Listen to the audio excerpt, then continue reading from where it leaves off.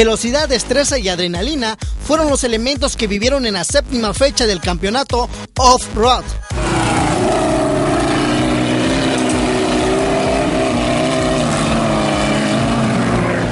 El polvo no fue factor para que los pilotos perdieran la visibilidad al conducir estas máquinas de motor.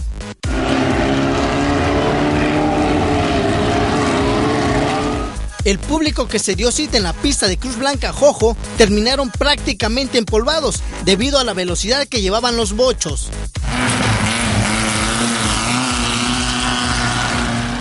Es así como se llevó a cabo esta fecha, donde los pilotos sumaron puntos para el próximo cotejo, en el que únicamente le quedan tres fechas más para el cierre y conocer al monarca. Para MBM Deportes, Alan Pacheco.